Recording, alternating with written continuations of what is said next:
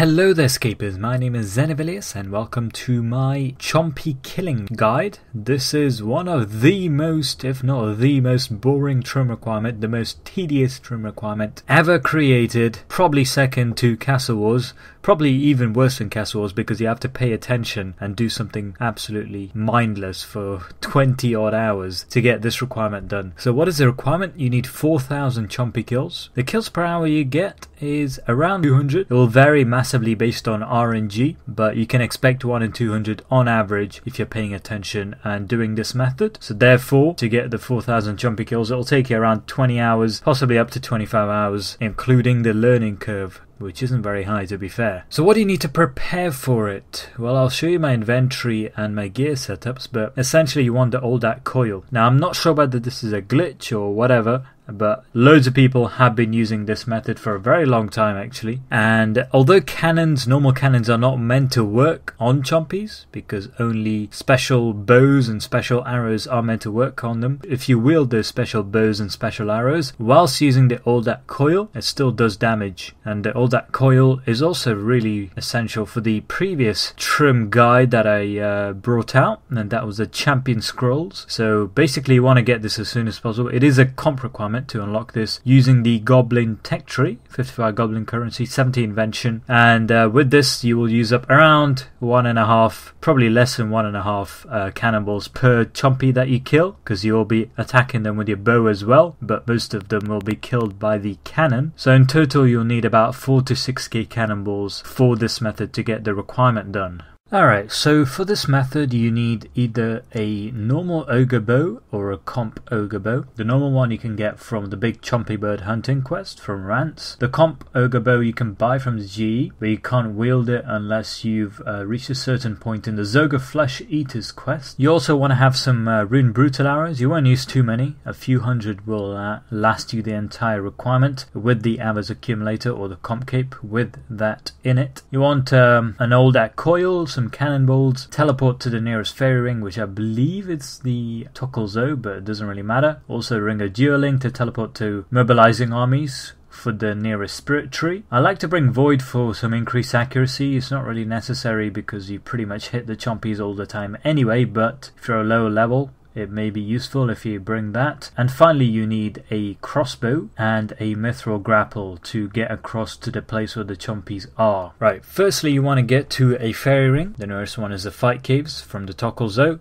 type in AKS and then uh, run east from there and then a bit further north past uh, Rance who sells the hats once you reach certain goals in terms of chompy kills. And go through the cave find the ogre bellow drop it and get three. Three is the optimal number I think. So do the drop trick and get three. Teleport to you. mobilizing armies go to the spirit tree go to the poison waste and then equip your crossbow and your myth grapple and go across and uh, you are here. Now you want to plant the cannon where you see me planting it here now. That's optimal position in my opinion because it can access both the west across the bridge and also the north and the south. The only time the cannon won't be able to hit them is from uh, behind a tree on the east or far east where you will need to use your bow. Before we get started, it's really important that you keybind your Ogre Bellows and your Bloated Toads. What I like to do is I like to put the completely empty Ogre Bellows where my W is, and then I like to put uh, the one with one set of Swamp Bubbles in R or E, and the one with two sets of Swamp Bubbles in the other. The max it can have is three sets of Swamp Bubbles, which means it can catch three Toads. You'll see why this is the case later on, but essentially allows you to quickly figure out whether you need to refill your Ogre Bellows or not. 3 is an optimal number because you can only have 3 bloated toads in your inventory and you want to place them as you see here. So you quickly uh, press Q and you just keep pressing it down until 3 are on the floor. You don't need to spam click it, your character will automatically go west. I Obviously put your cannon down if you haven't already and start firing it so that you don't have to worry about the chompies and then you just repeat this process. You'll be able to catch 9 toads before you have to refill again. So uh, click on the toads just to catch them and make sure you don't catch more than three because otherwise the last one will burst and you'll basically have to catch another one. And basically, while you're doing the animation for catching the toads or filling the swamp, the Ogre Bellows uh, cannon won't be able to attack the Chompy birds, so just be aware of that. And the Chompy birds, if they get too close to the toads, will eat the toads, so don't let them get too close. The cannon will take care of that basically, but just be aware of that. So three lines of three is basically all you really need to have the highest chance of getting Chompies. Again, this is based on RNG, so don't be too worried if you're having to wait. But once you're done, just keep uh, going back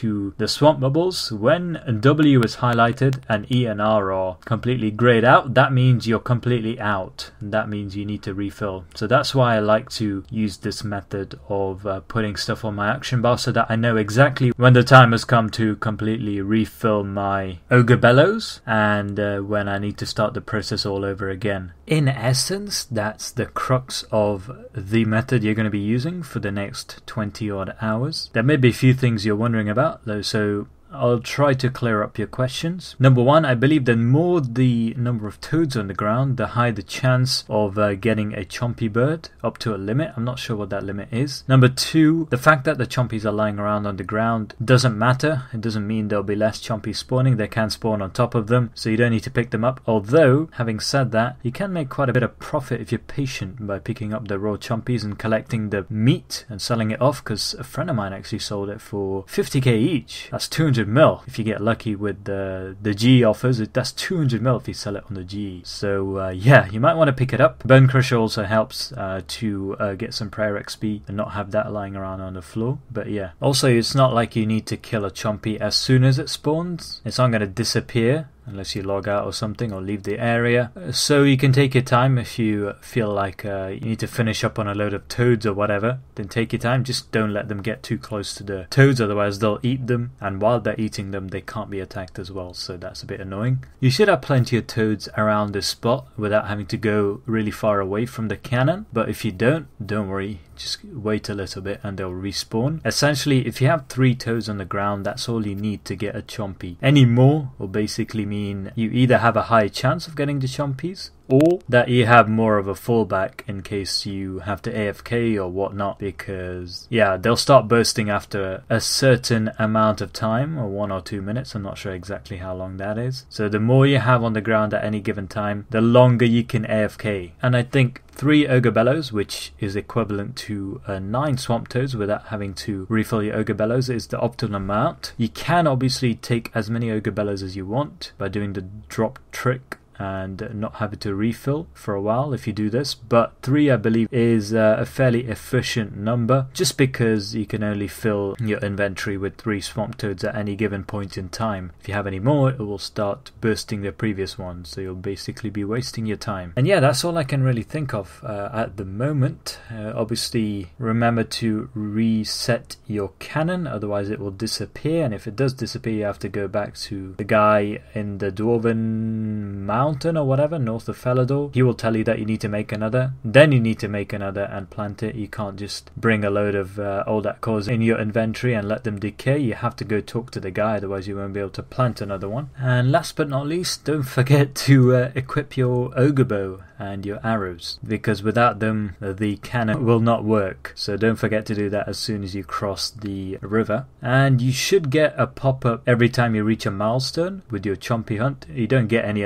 advantages for reaching milestones in terms of increased chompies or whatnot. But remember that the chompy kills enhancer lasts for how many? Counts for 100 chompies each. So it basically gives a bonus of 100 chompies each which is quite good I guess. It's not the best in terms of percentage of a requirement complete per enhancer, but definitely, definitely do your Motherlode Maw and uh, use them up here because it will save you a lot of time and effort. And they may nerf this uh, that coil method in the future, in which case you'll have to just click on all the chompies ever, not just the ones that the coil can't reach. So yeah, that's pretty much the entire method. If you have any more questions, I will answer them. But uh, yeah, I hope this uh, helps you guys out. Oh, and if you talk to Rance, who you passed when you were getting your Ogre Bellows, you can get your Expert Dragon Archer hat after getting 4,000 Chompy kills, which seems to have been quite fashionable back in the day when very few people had these 4k kills done because they were so much harder, so much more click intensive, and no cannons were involved.